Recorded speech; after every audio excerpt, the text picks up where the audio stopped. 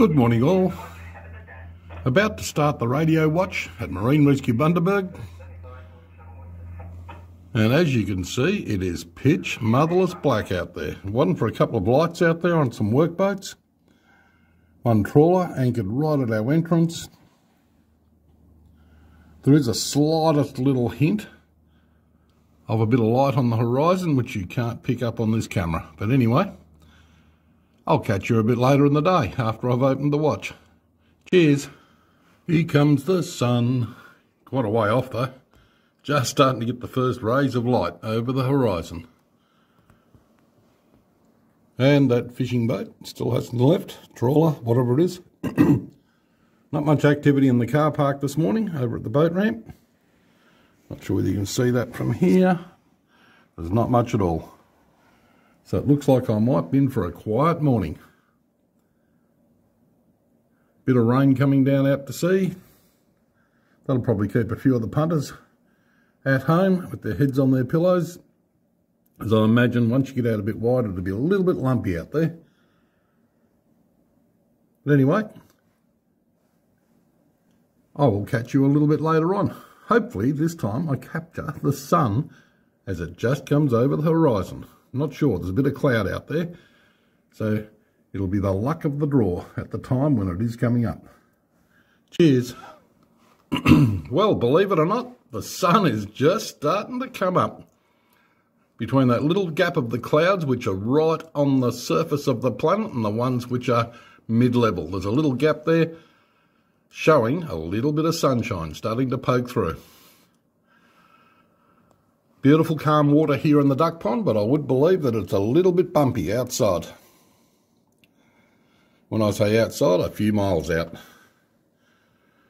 Here comes the sun, definitely. Well, I might shoot in a couple more segments today if there's anything um, pops up. You never know, or this might be it. Cheers for now.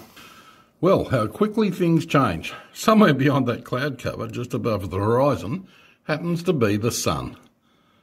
It's as calm as here in the duck pond, but outside I'd say there's a fair old swell running, coming out of the Pacific Ocean, running into the Coral Sea, and hitting the coast, the Capricornia coast. From here, Burnett Heads, heading north, right up to probably the Whitsundays. They're probably copying a little bit of a bump coming in there. Make for an uncomfortable night at anchor. But you never know. I might get the chance to throw the camera up again before we call it a day. Cheers from us here in Burnett Heads. Back again. Here comes a beautiful ketch coming in to the Burnett River, just passing the rock wall now. You can see a fair bit of mud on the far side of the duck pond. The tide is on the way down. I think it's going to be another day where it'll look like someone pulled the plug on the ocean in this part of the world. But as we watch the world go by, cheers for now from us here in Burnett Heads. Well, I told you I'd be back. It took a while. The sun's well and truly up now. Um, but just to give you an idea what a sparkly day it is here in Burnett Heads. Love this place, love this view.